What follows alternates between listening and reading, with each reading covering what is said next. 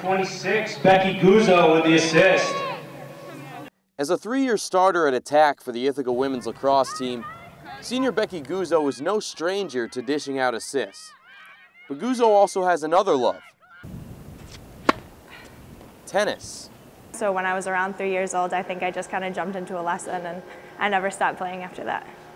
After seeing her play on campus one day, Guzzo was asked to join the tennis team by the coaching staff. Two years later, Guzzo had a pair of Empire 8 championships and an NCAA appearance under her belt. But her schedule was filling up. I decided to do athletic training my sophomore year. As a program, we're lucky um, they even give us the opportunity to play athletics because a lot of uh, schools don't with athletic training because you need all that ex experience with sports teams themselves. So after entering the athletic training program in her sophomore year, Guzzo had to make a decision.